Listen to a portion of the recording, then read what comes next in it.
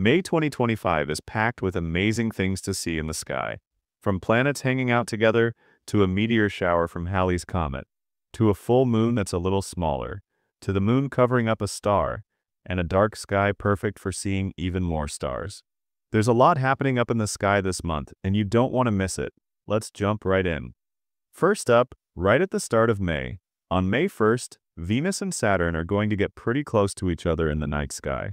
They're not going to actually meet, but they'll look like they're hanging out together from where we are on Earth. Venus will be super easy to spot because it's super bright. That's why it's often called the evening star. Saturn will be nearby, but it won't be as bright, so you might have to look a little harder to find it.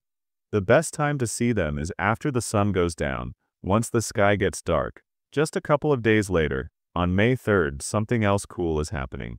The moon and Mars are going to be really close together in the sky. This is called a conjunction. That night, the moon will be a slim crescent, kind of like a little glowing smile, and it'll be sitting next to the red planet Mars. Plus, they'll be near the Beehive star cluster, which is a group of stars that looks like a little fuzzy patch. If you have binoculars or a small telescope, you might be able to see even more details. Then, get ready because on the night of May 4th into the early morning of May 5th, we have the Eta Aquarid meteor shower hitting its peak. If you've never seen a meteor shower, it's like a bunch of shooting stars zooming across the sky. The best time to watch will be just before dawn on May 5th. The cool part is, this meteor shower is made up of bits from Halley's Comet. If you live in the southern hemisphere or near the equator, you'll get the best view, but even if you're further north, you should still be able to catch some meteors. In a dark place, you might see up to 50 meteors every hour, and don't worry about the moon being too bright. The sky will be nice and dark for some awesome viewing. Next up, on May 12th, we're getting a full moon. It's not just any full moon either. It's called the flower moon. That's because in May, a lot of flowers are blooming, and people a long time ago named the full moon after the flowers. The moon will look big, round, and beautiful, and it'll be hanging out near some bright stars called Zubenelgenubi and Antares. Now this full moon is also a micromoon. That means the moon is a little farther away from Earth than usual, so it'll look a tiny bit smaller, and not quite as bright as other full moons.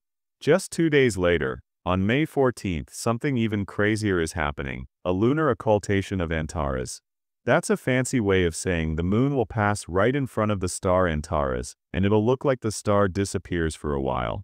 Antares is a big bright red star in the constellation Scorpius, and it's one of the brightest stars you can see.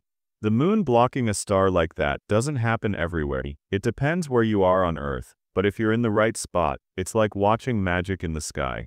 If you've got a telescope or even a good pair of binoculars, definitely try to check it out. Finally, at the end of the month, on May 27th, we'll have a new moon.